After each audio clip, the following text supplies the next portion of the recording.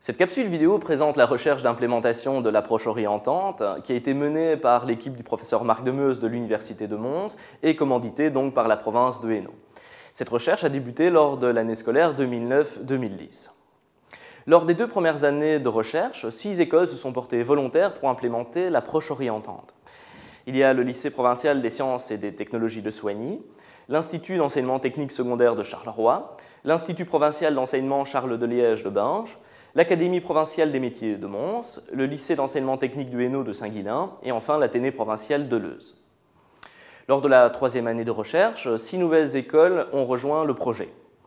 Il y a l'Athénée provinciale et l'Institut provincial d'enseignement secondaire de la Louvière, l'Athénée provinciale Warroquet de Morlanoué Marie-Montchapelle. Pour Charleroi, il y a l'Institut Jean Jaurès et l'Institut provincial d'enseignement secondaire paramédical le lycée provincial Ornu-Colfontaine, et enfin à Mons, l'Académie des métiers s'est retirée du projet pour des problèmes structuraux, mais s'est ajouté l'Athénée provincial Jean Daven. Les actions mises en place dans les établissements scolaires ont porté principalement sur le premier degré, commun et différencié, mais également sur le deuxième degré, en technique de qualification et en professionnel. La recherche peut être divisée en cinq grandes phases de travail.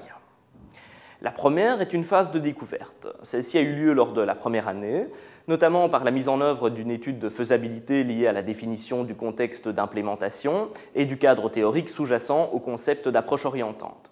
Ensuite, les chercheurs ont répertorié un ensemble d'outils orientants déjà existants.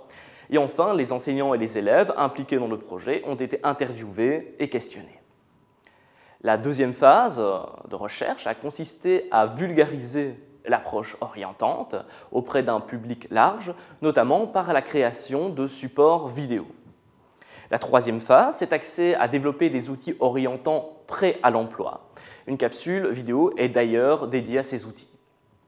La quatrième phase fut expérimentale et permit d'aboutir à un ensemble de résultats qui sont présentés en fin de vidéo. La dernière phase a consisté à communiquer les résultats des recherches auprès de spécialistes de l'orientation, notamment par la participation des chercheurs de l'Université de Mons au dixième colloque sur l'approche orientante qui s'est déroulé à Québec. En fin de deuxième année, un autre support de sensibilisation à l'approche orientante a été construit. Pendant la troisième année de recherche, plusieurs actions ont été mises en place. Outre la présence donc de six nouvelles écoles, plusieurs réunions d'information et de sensibilisation ont été tenues. De plus, un comité de suivi a été créé afin de coordonner, de superviser l'ensemble du projet. Au niveau des outils, un journal orientant a été prévu et sera certainement diffusé euh, pendant l'année académique 2013-2014.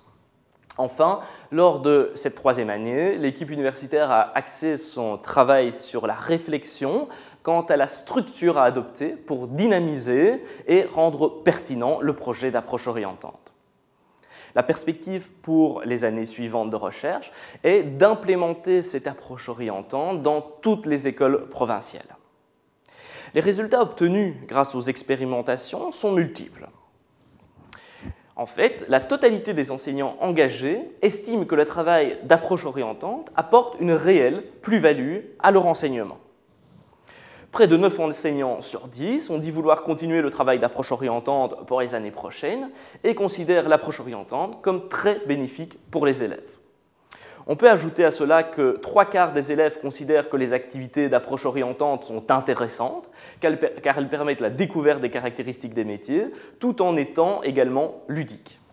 De plus, ces activités d'approche orientante ont permis aux enseignants de travailler des processus liés à la connaissance de soi, à la connaissance du monde scolaire et la connaissance du monde professionnel. Les élèves ont été responsabilisés lors de ces activités, ce qui a permis de travailler des compétences à la fois disciplinaires, transversales et vocationnelles. Pour plus de renseignements concernant la recherche, vous pouvez vous rendre sur le site approcheorientante.be, contacter l'équipe de recherche ou simplement visionner les différentes capsules vidéo.